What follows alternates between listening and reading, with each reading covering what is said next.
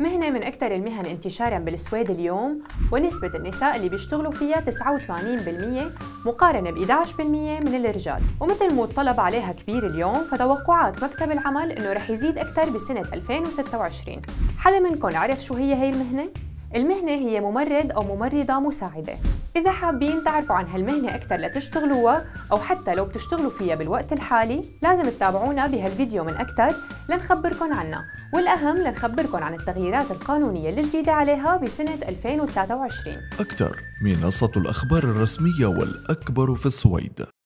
بحسب هيئة الإحصاء السويدية فالممرضين والممرضات المساعدات هن جزء من مجموعة مهن هي الأكثر انتشاراً بالسويد اليوم بعدد بيوصل لقرابة 130 ألف شخص. ومثل ما قلنا فالطلب عليها عالي اليوم وبيانات مكتب العمل بتتوقع أنه الطلب حيزيد بسنة 2026 بوتيرة متسارعة. طبعاً المهام اللي ممكن يعملها اللي بيشتغل بهي المهنة متنوعة بس أهمها خلق جو من الأمان لمتلقي الرعاية ولأقاربينهم وتحفيز ومساعدة الأشخاص ليعملوا الأشياء اللي بيقدروا يعملوها وحدهم وطبعا المهام الطبية مثل الاعتناء بالجروح وتفحص النبض وضغط الدم ووضع وإزالة القسطرة وممكن الممرضات والممرضين المساعدين يشتغلوا بدور الرعاية ضمن فرق.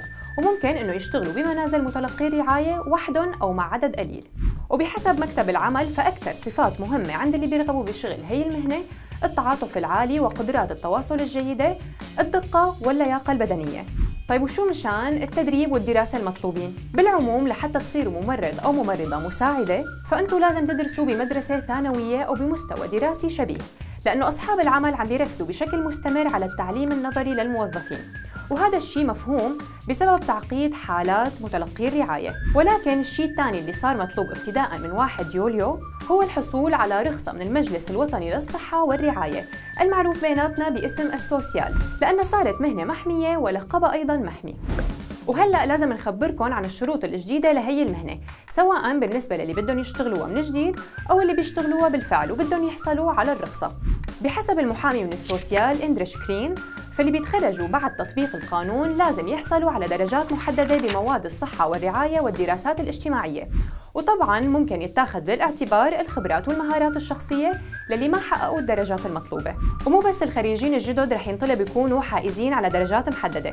كمان اللي متخرجين قبل القانون أو العاملين بالمهنة بالفعل مطلوب منهم تحقيق درجات محددة. ورح أحكي لكم عن هالدرجات بسرعة.